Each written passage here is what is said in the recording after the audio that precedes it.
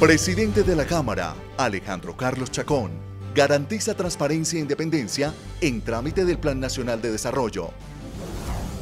Desde la Cámara piden a Nicolás Maduro viabilizar entrega de ayuda humanitaria. Censo del DANE no contabilizó cerca del 30% de la población de Soacha. Dirección Administrativa de la Cámara, con balance positivo en la última auditoría de la Contraloría.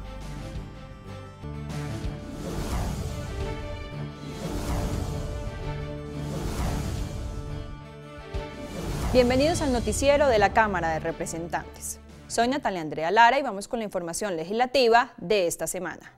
El presidente de la Cámara, Alejandro Carlos Chacón, anunció que la discusión del Plan Nacional de Desarrollo se hará de cara al país.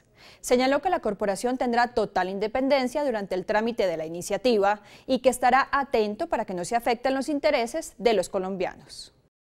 La próxima semana iniciará la discusión del Plan Nacional de Desarrollo presentado por el Gobierno Nacional. El presidente de la Cámara señaló que el debate será amplio y tendrá el tiempo suficiente en su discusión. El país ya ha, visto un Congreso más independiente, un Congreso que está dando las grandes discusiones que el país esperaba y requería. Esta independencia que además la ha propuesto el presidente Duque nos ha gustado eh, le ha gustado al país y yo creo que ha depurado de la mejor manera las normas. Que no se preocupen que así como en la tributaria depuramos bastante lo que traía el gobierno, de la misma manera seguramente depuraremos los planteamientos que trae este plan de desarrollo. Hay también que aclarar algo. Eh, generalmente eh, la carrera y premura por presentar las leyes, especialmente las de plan, dependen de recoger la directora de planeación o el gobierno nacional los diferentes planteamientos y requerimientos de los ministerios. El representante liberal recalcó que se están haciendo todos los análisis al proyecto y que habrá cambios en los artículos que afectan a los ciudadanos. Hay que reorganizar el gasto y esa es una discusión grande que tiene que dar el país. Lo que no es conveniente es que dentro del plan, en una ley que firma el Congreso de la República, solo se esté pensando en verificar o analizar la reducción de los subsidios de gas o energía a los estratos más bajos del país, sin revisar eh, la problemática que pueda haber en el diferentes eh, depuraciones, ejemplo que va a haber en los subsidios en este país, donde casi que el 40 o 38% se está llevando los subsidios de este país en el estrato 5 y 6. Yo creo que es la grande discusión que debemos dar, no quitárselo a los pequeños, sino lograr quitar el 38% que se lo están tomando los estratos 5 y 6 de los subsidios de las personas más pobres de Colombia. El presidente de la Cámara, Alejandro Carlos Chacón, anunció que la corporación seguirá actuando de manera independiente para proteger los intereses de los colombianos. Varios congresistas han manifestado observaciones frente al proyecto del Plan Nacional de Desarrollo radicado por el presidente Iván Duque. Consideran que la paz y los programas de equidad de género estarían desfinanciados. Los representantes del gobierno lo defienden. Algunos congresistas han manifestado su preocupación sobre el articulado del Plan Nacional de Desarrollo. En él hemos encontrado situaciones que nos llaman la atención, como por ejemplo la ausencia de los presupuestos detallados para el cumplimiento del Pacto de la Paz y para el cumplimiento del Pacto de la Equidad por la Mujer. Creo que hace falta la creación de una institución que rija toda la política pública nacional de familia, al igual el tema de niñez el tema de presupuesto en la niñez no está muy específico para garantizar los derechos de los niños que son prevalentes sobre todos los demás. La creación eh, del Instituto a nivel nacional de protección y bienestar animal y otros temas más que no estaban incluidos. Por otra parte, hay quienes consideran que este proyecto traerá muchos beneficios para los colombianos. Es un gran pacto por la equidad y la equidad se logra es reduciendo esas brechas de desigualdad reduciendo la pobreza, generando empleo y que realmente una atención especial a las zonas más vulnerables y a los campesinos colombianos. La equidad no es tanto regalar por parte del Estado, sino generar empleo de calidad empleo con seguridad social, empleo con afiliación a la salud, empleo con afiliación a pensiones, empleo con riesgos profesionales, porque eso no solamente protege al trabajador, sino protege a la familia. Para el presidente de la Comisión Tercera, este proyecto del Gobierno Nacional debe tener consenso dentro de las diferentes bancadas en el legislativo. Este no es un plan milagroso, es un plan de desarrollo. Al plan le faltan muchas cosas, por supuesto, para eso está el Congreso lo vamos a debatir, lo vamos a agregar, lo vamos a modificar, pero en principio es un buen plan, una buena propuesta de Plan Nacional de Desarrollo. La próxima semana comenzarán las discusiones de esta iniciativa en las comisiones económicas del Congreso. Los representantes a la Cámara le hacen un llamado a Nicolás Maduro para que no obstaculice el ingreso de medicinas y alimentos para ser distribuidos en el vecino país. Para los congresistas resulta insólito que por un asunto político se bloquee una ayuda humanitaria. En Cúcuta fue instalado un centro de acopio cerca del puente internacional Tienditas con el fin de recibir la ayuda humanitaria enviada al vecino país. No obstante, Nicolás Maduro ha afirmado que no permitirá el ingreso de ayuda humanitaria al vecino país. Frente a estas declaraciones, los congresistas se pronunciaron.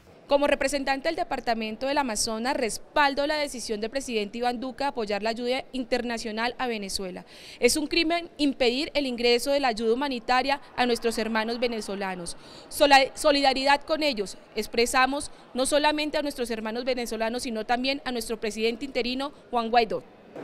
Lo que hace el régimen de Maduro en Venezuela es antinatural, antes de que exista el orden político, existen los derechos naturales del ser humano. Y hoy nuestros hermanos venezolanos están padeciendo hambre, miseria, se está muriendo los niños, se está muriendo la gente en Venezuela. Y es del derecho natural darles la alimentación. Es humano, es humanitario y debe permitir las ayudas humanitarias que cualquier parte que provengan, más allá de la política, más allá de las diferencias ideológicas, el régimen de Maduro hoy está matando a los venezolanos, no solo con sus imposiciones, sino también evitando que les lleguen medicamentos y alimentos.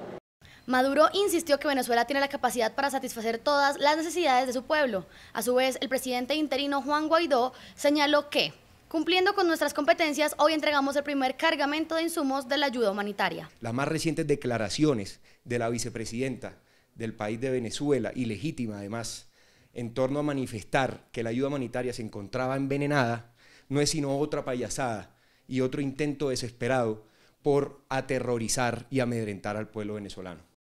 Los representantes insisten en no politizar la ayuda humanitaria que el pueblo venezolano tanto necesita. Como positivo fue calificado el resultado de la última auditoría de la Contraloría a los procesos y procedimientos administrativos de la Cámara de Representantes. La directora de la entidad, María Carolina Carrillo, se mostró satisfecha y reafirmó su compromiso para seguir trabajando para mejorar los niveles de transparencia en la corporación. Gracias a los ajustes en los procesos administrativos, la Cámara bajó el número de hallazgos que la Contraloría había reportado en la vigencia anterior tanto para la mesa directiva como para la dirección administrativa, es un privilegio contarle a los ciudadanos colombianos que hoy la Contraloría General de la República, en virtud de su última auditoría, nos calificó con muy buena nuestra gestión. Y muy buena porque de los varios hallazgos de antaño, hoy solamente encontramos con 12, de los cuales en su gran mayoría son hallazgos netamente administrativos, no tenemos hallazgos fiscales y no tenemos hallazgos penales, lo cual denota una impecable administración, una impecable gestión y una impecable rigurosidad en los pormenores y detalles del manejo del presupuesto público. También son satisfactorios los resultados en materia de transparencia. La evaluación arrojó un elevado cumplimiento de la ley 1712. Adicionalmente a esto, tenemos también un récord en el cumplimiento de la ley de transparencia, la ley 1712 del año 2014, en donde volvimos a cumplir el 100% de la misma. Una vez más, la Cámara de Representantes se siente orgullosa y satisfecha por estos logros impresionantes nunca antes vistos. El informe detallado de la auditoría realizada por la Contraloría están publicados en la página web del ente investigador y en el portal de la Cámara de Representantes. El impuesto predial nuevamente es un dolor de cabeza para los contribuyentes. Los ciudadanos denuncian incrementos hasta del 500%. En el Congreso cursa una iniciativa para regular el cobro de este impuesto, al que solo le queda un último debate para convertirse en ley.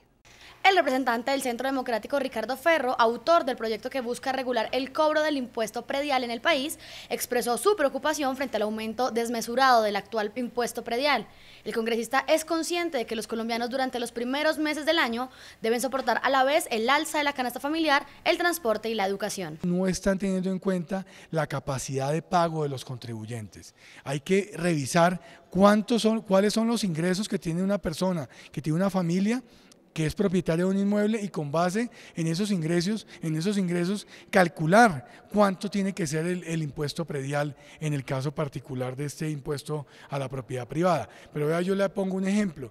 Hoy en día una persona que, eh, que tiene un inmueble y alquila o arrienda ese inmueble tiene que destinar entre 5 y 6 cánones de arrendamiento del año para pagar el impuesto predial.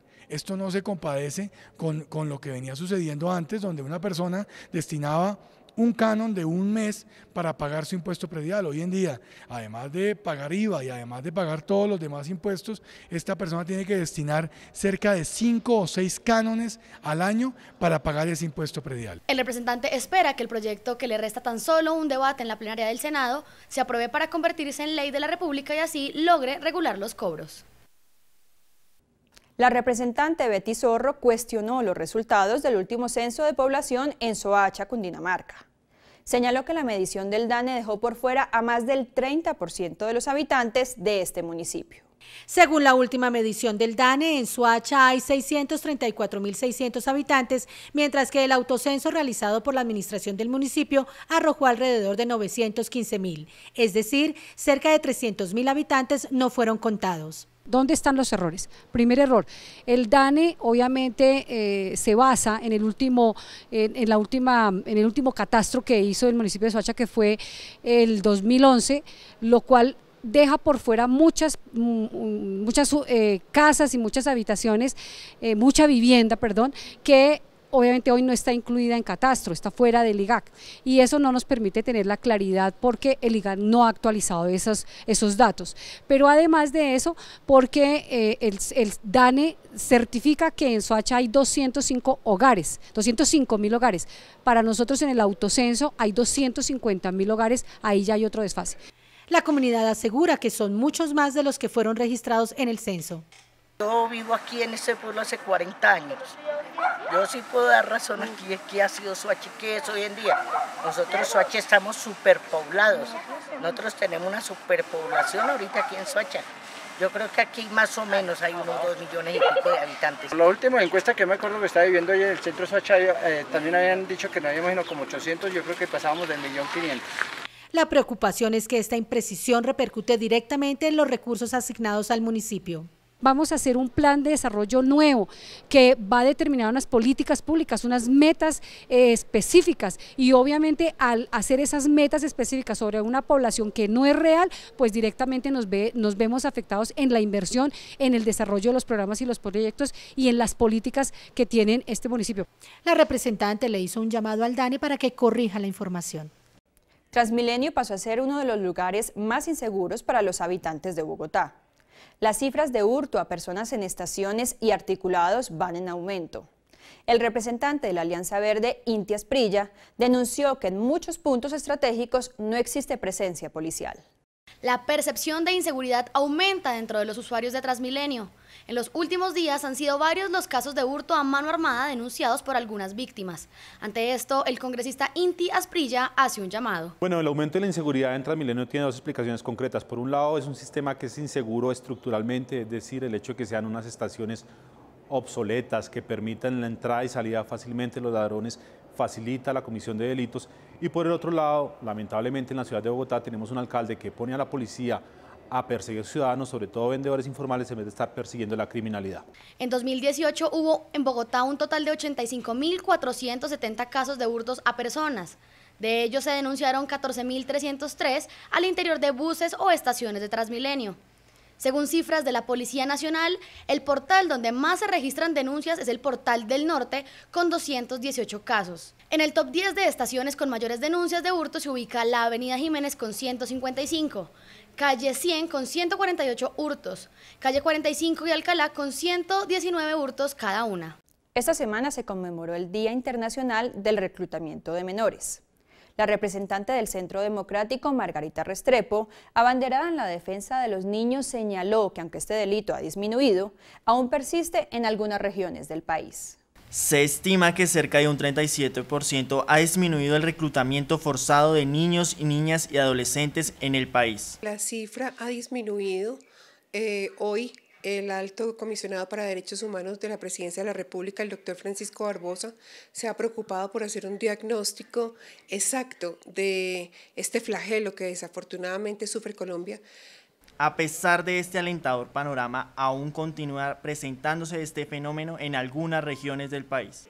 Quiero hacer un llamado muy especial a el fenómeno que se está presentando en la frontera colombo-venezolana donde reclutan a cientos de niños de manera permanente, el ELN, las FARC y el EPL. Incluso hay ONGs que hoy hablan de cifras astronómicas, eh, vergonzosas, como de 15.000 niños reclutados hasta el momento en los últimos cinco años. En el marco de la conmemoración del Día Mundial contra el Reclutamiento de Menores, se invitó a reflexionar sobre nuestra responsabilidad como familia, sociedad y Estado. En supermercados y almacenes de cadena se viene implementando la práctica de envolver frutas y verduras en plásticos. A toda clase de alimentos se les quita la cáscara para empacarse en bolsa, lo que además de ser contaminante va en detrimento del valor nutricional de estos mismos. Como ridículo denominó el representante por Boyacá, César Pachón, el uso de plásticos en los supermercados para cubrir frutas y verduras. En su cuenta de Twitter publicó imágenes. En ellas se ve cómo los aguacates se les ha retirado la cáscara y se les envuelve en plástico para la venta. Bueno, mira, a nivel mundial eh, se viene haciendo una campaña, incluso impulsada desde organizaciones como Greenpeace, la cual apoyamos. Eh, que no haya ese uso excesivo de plástico porque realmente estamos contaminando el planeta, estamos eh, aumentando el cambio climático y estamos siendo afectados, estamos contaminando los mares. Entonces, eh, la campaña que hemos iniciado en redes sociales, especialmente en Twitter, consiste en que pues, no se compre y no se apoye estos productos que encontramos en almacenes de cadena especialmente, donde se repone, digamos, la cáscara del aguacate, de la mandarina, de varios productos, en fin, por plástico, porque eso, esos son productos naturales, la corteza de un aguacate, la cáscara, eh, le previene la luz solar, le mantiene las condiciones organolépticas, le da ciertas condiciones y además vemos que es un tema innecesario. En la Cámara de Representantes se tramita un proyecto que busca limitar el uso de estos plásticos. Harry González, representante liberal, pide que esta iniciativa sea tramitada con prontitud. Una bolsa plástica como las que están mostrando ahora en las redes sociales con las que quieren cubrir los aguacates colombianos puede demorarse en desaparecer 150 años y una botella PET de cualquier eh, gaseosa es una botella que podría durar hasta mil años para desaparecer. El daño que el plástico hace en nuestro país, en las fuentes hídricas, en los océanos, en los ríos, es más grave que el daño que hizo Hidro y Tuango, la represa que acabó con el río Cauca en Colombia. Mientras los usuarios en Twitter siguen expresando su inconformidad y registran cómo los supermercados cada vez más plastifican las frutas y verduras, se espera el proyecto sea aprobado en el Congreso de la República. La Cámara de Representantes adelanta acercamientos con diferentes misiones diplomáticas. Como resultado de estas gestiones, en los próximos días firmará un convenio con la Embajada de Emiratos Árabes Unidos en Colombia.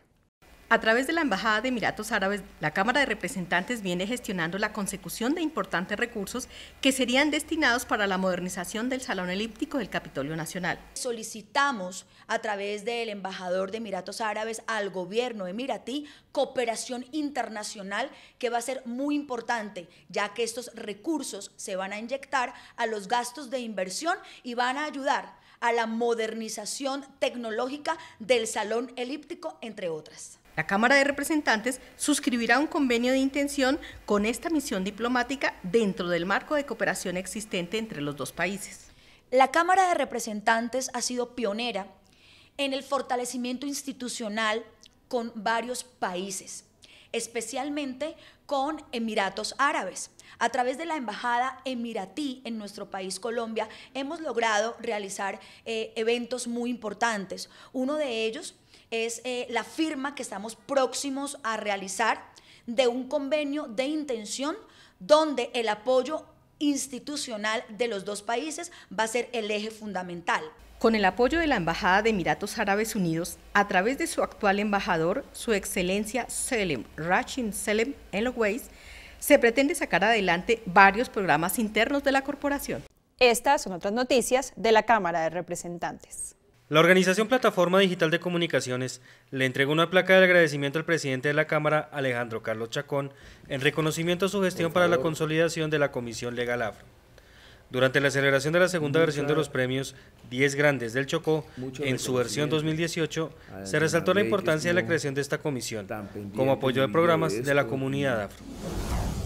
La exoneración del IVA para el Guaviare es una realidad. Para el representante liberal Alexander Bermúdez, el beneficio tributario que logró incluir en la ley de financiamiento significa la reactivación económica para su departamento. Pero hoy tenemos que reconocerle que este Congreso, que este gobierno, eh, de alguna manera eh, ha reconocido ese, ese, atraso que hemos tenido en, en el tema económico y nos permite entonces que hoy muchos productos estén sin IVA. Se ha reactivado la economía, hoy las personas con menos dinero compran más productos, es decir, que están ahorrando. Y eso de alguna manera beneficia a la clase eh, más humilde, más pobre del Guaviare. Y estamos contentos, los almacenes, eh, el comerciante, pero el cliente también está beneficiado. El Guaviare es hoy otra región. Hasta aquí el noticiero de la Cámara de Representantes. Volvemos en siete días con más información. Hasta pronto.